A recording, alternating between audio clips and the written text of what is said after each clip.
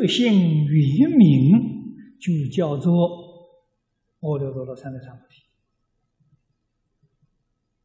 若有发尘，便非圆明。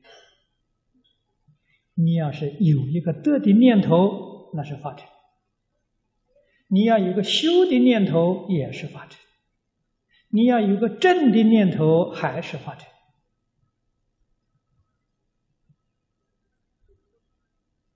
啊，所以六祖慧能说：“本来无一物啊。”他说的话没错。如果我们听了，哎，这你的本来无一物，你看他又有一物了，有个本来无一物的又糟了。这本来无一物也无啊，也没有啊。这很难很难就怕你听错了意思。所以佛说到最后没法子了，啊，这不得已说，言语道断，心心处别，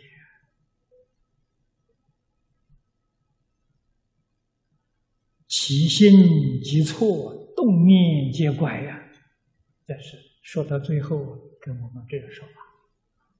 啊，不可以起心动念。啊，这个是你决心圆明显现，所以佛菩萨的心，无论在什么境界上啊，在十法界，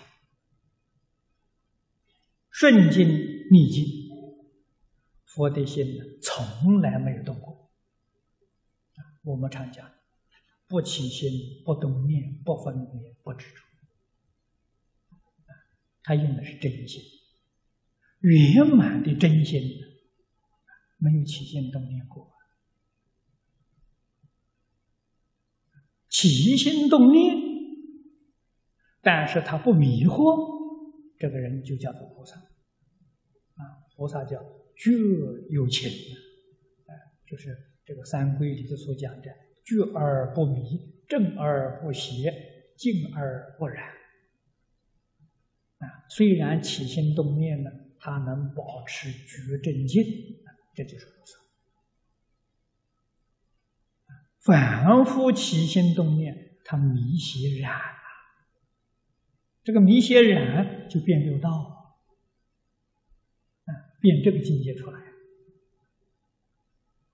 佛菩萨起心动念，他一觉觉正境，所以他变的是四圣法界，啊，就清净的国土、宝土啊。我们这是会握的宝土啊，这也是证明了一切法从心想生，啊，就佛心。不动，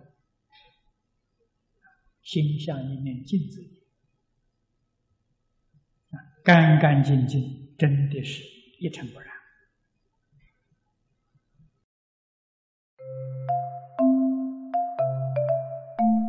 如果喜欢我们的影片，欢迎订阅频道，开启小铃铛，也可以扫上方的 Q R code，就能收到最新影片通知哦。